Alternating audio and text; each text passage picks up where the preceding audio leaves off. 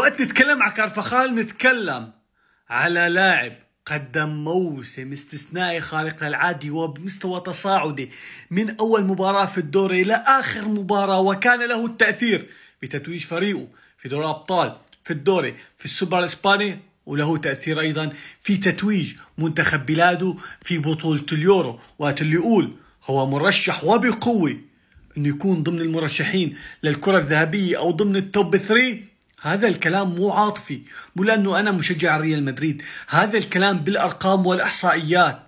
تخيل معي داني كارفخال هذا الموسم وهو كظهير مساهم ب 13 هدف ست أهداف وسبعة صناعة محقق دوري أبطال محقق الدوري محقق السوبر الإسباني محقق اليورو. وبالاضافه محقق جائزة اللاعب في نهاية دوري أبطال أوروبا. أتوقع كارفخال من بداية الموسم بمستوى تصاعدي إلى آخر المباراة.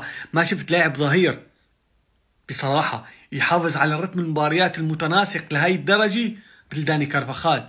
لذلك موسم استثنائي سعيد جدا من أجل كارفخال تحقيقه لبطولة اليورو. نحكي على لاعب عنده ست دوري أبطال أوروبا ما يكون عنده بطولة دولية؟ في شيء من الظلم. برجع بقول كارفخال واحد من أفضل الأظهرة ممكن نقول بآخر 20 سنة في في في كرة القدم على مستوى التأثير على مستوى الألقاب وعلى جميع المستويات.